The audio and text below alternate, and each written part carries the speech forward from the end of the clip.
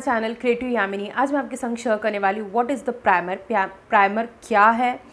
इसे कैसे यूज़ करते हैं, इसे कैसे अप्लाई करना है, इसके यूजेस क्या हैं, बेनिफिट्स क्या है, ये सारी डिटेल्स मैं आपके संग शेयर करूँगी। वीडियो आपके लिए हेल्पफुल रहती है तो प्लीज़ रिक्वेस्ट रहेगी कि चैनल को सब्सक्राइब कर लें, जो कि बिल्कुल फ्री है। पास ही में नोटिफिकेशन बेल आइकन आएगा, उस पर भी हिट कर दीजिएगा। तो आने वाली सभी वीडियो से आप नोटिफाइड हो पाएँगे। वीडियो पसंद आता है हेल्पफुल रहता है फ्रेंड्स एंड फैमिली के संग शेयर ज़रूर कीजिएगा। तो चलते हैं वीडियो में कि what is the primer primer क्या होता है? आपने काफ़ी सारे वीडियोस में देखा होगा कि काफ़ी सारे लोग प्राइमर वर्ड का यूज़ करते हैं। अगर मेकअप ट्यूटोरियल्स आप देखते हैं तो आपको पता ही होगा कि प्राइमर का हमारा क्या काम होता है। प्राइमर का काम होता है कि आपके जो ओपन पोज रहता है, उनको ब्लर आउट करता है वो।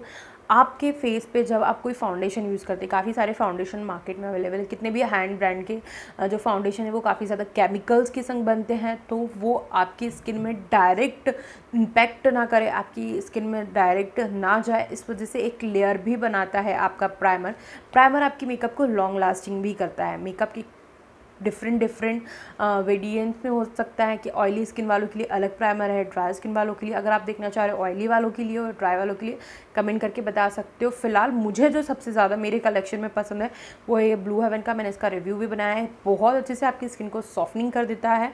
बहुत अच्छे से ओपन पोर्स को ब्लर आउट कर देता है। आपके मेकअप को लॉन्ग लास्टिंग तो बनाता ही बनाता है। बट अगर आपका स्किन जो है ड्राई है ड्राई है तो ये आपके स्किन पर एक मॉइस्चराइज़र का काम भी बहुत अच्छे से करता है। तो ये होता है, ये हमारे प्राइमर के काम होते हैं कि ये ये प्राइमर हमारा जो है, वो काम करता है।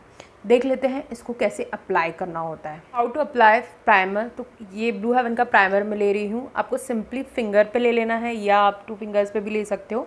पहले इसे मैं अप्लाई कर रही हूँ। मेनली आपको फोकस करना है टी जोन पे कि आप टी जोन पे इसे अप्लाई करो बिकॉज़ कि ओपन पोज के लिए बहुत अच्छा रहता है। हमारे ये जो ओपन पोज होते हैं, वो इससे ब्लर आउट हो जाते हैं।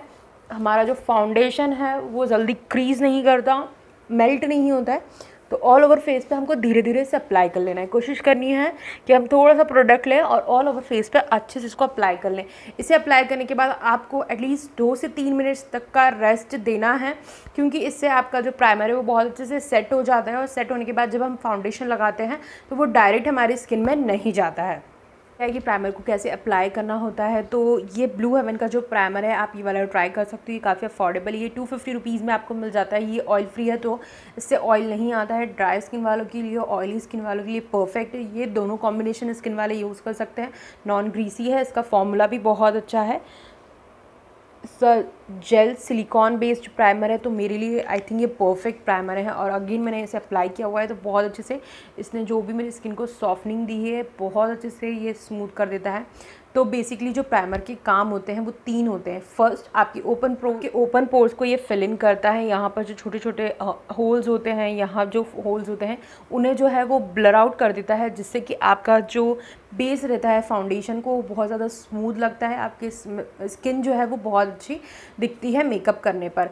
तो पहला काम ये होता है सेकंड काम होता है कि आपका कोई भी बहुत ज़्यादा केमिकल वाला फाउंडेशन है तो उस फाउंडेशन को आपकी स्किन के अंदर जाने से रोकता है। पहले कम से कम दो से तीन चीज़ें फाउंडेशन अप्लाई करने के पहले दो से तीन चीज़ें यूज़ करनी चाहिए। फ़र्स्ट हो जाता है toner moisturiser face serum then आपका प्राइमर ये फोर प्रोडक्ट्स हो गए, उसी के बाद आप यूज़ कीजिए अपना फाउंडेशन इसके पहले आप चाहें तो एक कलर कैरेक्टिंग भी कर सकते हैं, जिससे कि आपके अगर ये जो पिंपल्स के दाग है, कोई भी मार्क्स है आपके फेस पे तो वो भी हाइड हो जाते हैं।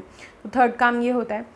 फोर्थ काम आपका ये होता है कि ये आपके मेकअप को लॉन्ग लास्टिंग बनाता है। ये कितनी देर तक लॉन्ग लास्टिंग बता, बनाता है? ये कम से कम आपके फेस पे, आपके मेकअप को seven to eight hours stay करने में हेल्प करता है। कम से कम आपका मेकअप जो है सात से आठ घंटे टिका रहता है।